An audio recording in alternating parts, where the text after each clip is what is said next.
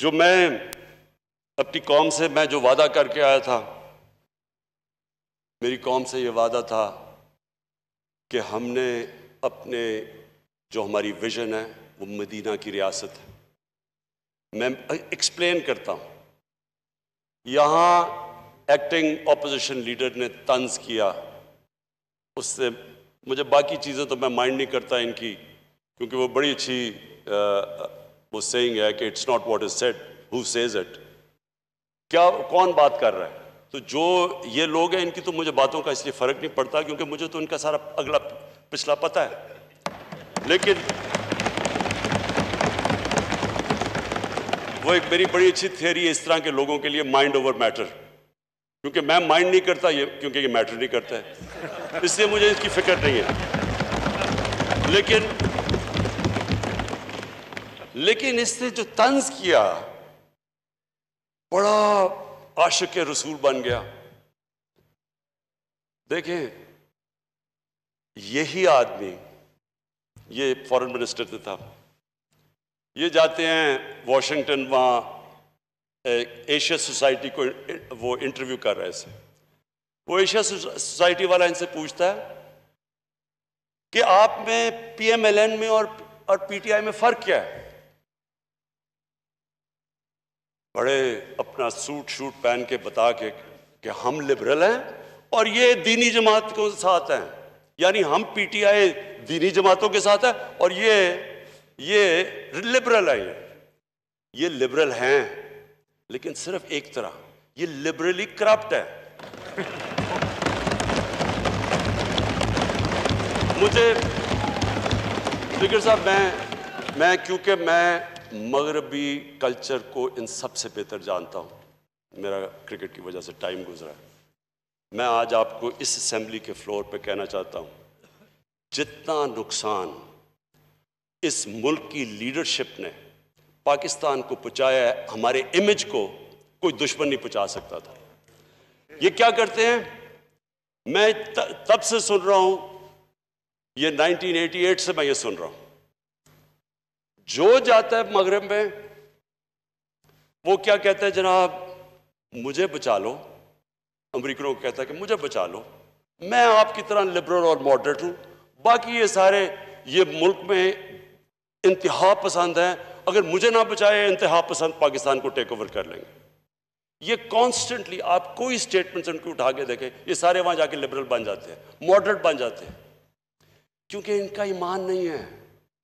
मैंने जितनी आप एक एक मेरी स्टेटमेंट उठा के देख लें वॉशिंगटन में डेवोस में न्यूयॉर्क में यूनाइटेड नेशंस जनरल असेंबली में मैंने हर जगह कहा कि मेरी विजन है पाकिस्तान को एक मदीना की रियासत के सूलों पर खड़ा करना।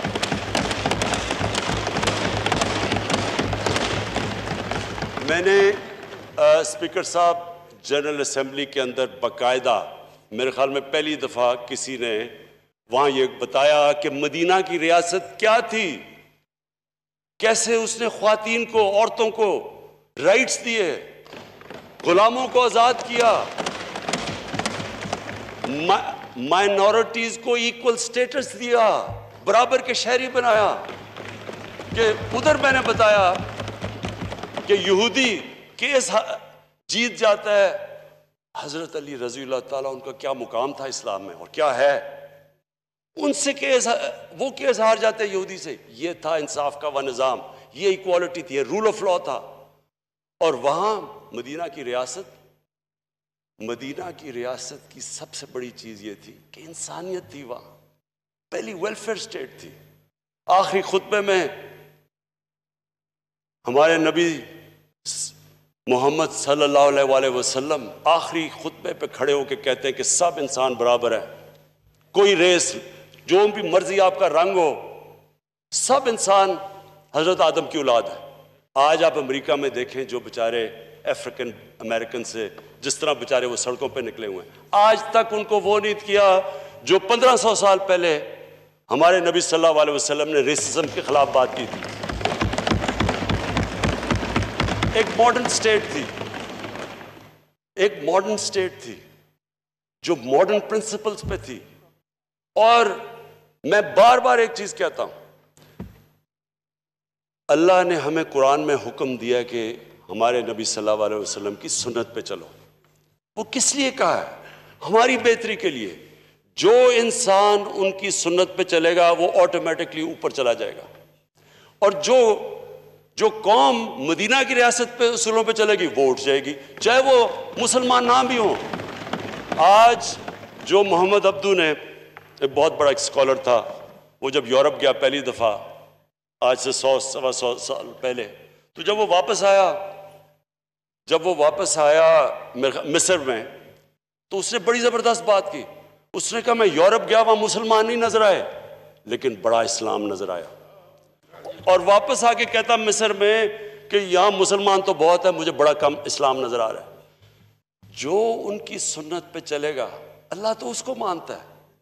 जो उनकी, जो इंसानियत होगी जिस माशरे में इंसाफ होगा, जिसमें मेरिट होगी, जिसके अंदर इंसानों को बराबर का समझा जाएगा, वो माशरा दुनिया में ऊपर चला जाएगा। और आज आपने अगर स्कैंडिनेवियन, जो मैंने जाके देखा स्कैंडिनेवियन ममालिक में, आप देखेंगे कि वहाँ किस तरह की उनकी कितनी, कितने वो करीब है मदीना की रियासत के, और हम कितने दूर हैं उससे।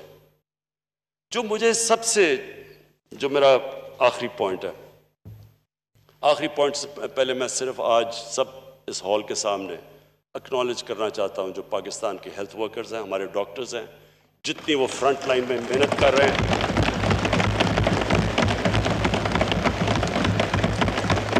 मुझे पता है वो किस प्रेशर में काम कर रहे हैं। मुझे ये पूरा एहसास है। हम तो इनशाला हमारी गवर्नमेंट का पूरी पूरी तरह हम जो कर सकते हैं, उनके लिए बैकिंग करेंगे। लेकिन उनको असल में तो उनको रिवॉर्ड अल्लाह देगा, क्योंकि ये जहाद है, ये असल जहाद है जो वो आज पाकिस्तान के हॉस्पिटल में करें मेरा आखिरी पॉइंट स्पीकर साहब, वो ये कि देखें, जो मदीना की रियासत में हमारे नबी सल्लल्लाहु अलैहि वसल्लम ने किया, उन्होंने लोगों की इखलाकियात उठा दी। उन्होंने लोगों का जो मॉरल स्टैंडर्ड्स थे, वो उठा के ऊपर ले गए। वो, वही कौम थी, वो बदल गई। उन्होंने अपनी मिसाल से लोगों को चेंज कर दिया। कुरान की आयत है कि मैं कभी किसी कौम की हालत नहीं बदलता जब तक वो कौम खुद अपनी हालत बदलने की कोशिश ना करे। उन्होंने जो उनका कैरेक्टर था, उससे अपनी मिसाल से कौम को बदला। जो जो वो कौम बनी, इंडोनेशिया और मलेशिया के अंदर कोई मुसलमान फौज नहीं गई। सिर्फ़ मुसलमान ताजर गए, कई सूफी हजरात गए। उनके कैरेक्टर को देख के लोग मुसलमान हो गए। उनके कैरेक्टर ऐसे थे कि वो नाप तोल में कोई ख्यानत नहीं करते थे। वो कोई किसी किस्म का धोखा नहीं देते थे। वो कैरेक्टर ऐसा था कि लोग मुतासर होकर उन इस्लाम कबूल किया। पाकिस्तान में जो सबसे ज़्यादा जुल्म किया है, ये तीस साल की पॉलिटिक्स में इन्होंने हमारी मोरालिटी ख़त्म कर दी है। इन्होंने हमारी अखलाकियात ख़त्म कर दी और मैं इस आदमी की अब बात करता हूँ जो यहाँ अपने आप को डेमोक्रेट कहता है। यहाँ नवाज़ शरीफ तकरीर कर रहा था। ये इधर बैठा हुआ था। नवाज़ शरीफ अपनी तकरीर में कहता है ये हैं वो दस्तावेजात जो बताएँगे कि लंदन के फ्लैट्स किधर से खरीदे गए। पैनमा में पकड़े गए इनके, नाम आ गया इनका, उसे पहले तो मानते नहीं थे। अब इन्होंने बताना था कि पैसा आया किधर से। यहाँ असेंबली में ये हैं वो दस्तावेजात। इसकी बदकिस्मती नवाज़ शरीफ की, इसको क्या पता था कि इसने सुप्रीम कोर्ट में चले जाना है। और वो, मैं अपनी पार्टी को खास दाद देता हूँ कि हमारी मूवमेंट की वजह से वो सुप्रीम कोर्ट पहुँचा। अब जब सुप्रीम कोर्ट पहुँच गए तो पता चला कि ये दस्तावेज़ तो फेक थे, ये तो जाली थे। और सुप्रीम कोर्ट में पकड़े जाना था तो सुप्रीम कोर्ट में एक और जाली चीज़ आ गई, कतरी खाता आ गया। जो आदमी इस तरह झूठ बोले, मुल्क का सरबरा, वो झूठ बोले। और ये साहब यहाँ बैठ के कहते हैं, मियाँ साहब फ़िक्र ना करें, लोग पैनमा को भूल जाएँगे थोड़ी देर के बाद। यानी कौम का पैसा चोरी करके मुल्क का सरबरा बाहर लेके जा रहा है। जो पैसा गरीबों का, जो स्कूलों पे, अस्पतालों पे खर्च होना है, वो मुल्क का प्राइम मिनिस्टर चोरी करके बाहर लेके जा रहा है। और ये साहब, ये जो अपने आप को डेमोक्रेट कहते हैं मियाँ साहब, फ़िक्र ना करें, आप जितना मर्ज़ी लूटे, हम आपके साथ खड़े हैं। ये डेमोक्रेट्स नहीं हैं। स्पीकर साहब, हम इनको डिग्निफाई करते हैं, इनको डेमोक्रेट्स कह के। इन्होंने हमारी मोरालिटी ख़त्म कर दी है इस मुल्क की। इन्हों, इनको आप, हम जब इतनी तकरीरें सुनते हैं, वो लोग जिनके ऊपर करप्शन के केसेस जो करप्ट लोगों को डिफेंड करते हैं, वो कन्विक्ट हो गया पाकिस्तान के सुप्रीम कोर्ट से। ये कहता जी, मेरा वो लीडर है। तो ये बच्चे जो हमारे देख रहे होंगे, उनको क्या, कोई अच्छे और बुरे की तमीज नहीं पता चलेगी? वो मौलाना रूमी की सही है कि कौम मरती तब है जब वो अच्छे और बुरे की तमीज खत्म करती है। जब मॉरली ये कौम जब मरती है, कौम मर जाती है।